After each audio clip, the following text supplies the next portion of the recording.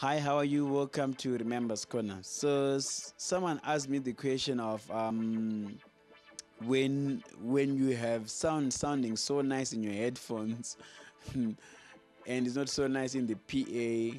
What do you do? Do you make the the PA sound sound like the headphones, or you just make the PA sound good and forget about the headphones, or you know? So so it and sometimes so funny how I kind of get similar questions different times. So, the issue of headphones and the PA. There's one key thing that we must understand every time you do live sound. Every time you do live sound, you are doing sound for the people, for the people who have come to the venue. So that is what that day is about, you know.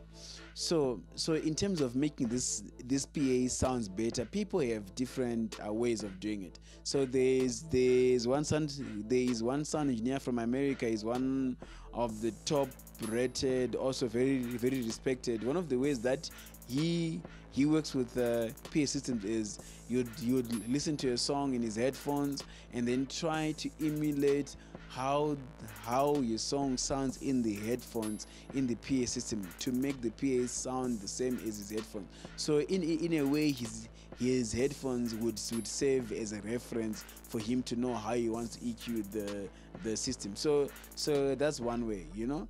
But um, the key thing is always understanding that we do sound for the people. We don't we don't do sound for the headphones. So when you have that clear, it doesn't really matter how amazing it sounds in, in the headphones. Because now what happens now when you've got cheap headphones and your headphones don't sound as great, then what do you do?